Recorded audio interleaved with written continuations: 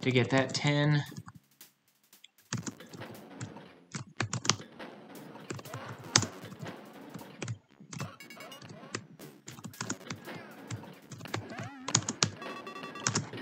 Like right there, 10 gaming. Alright.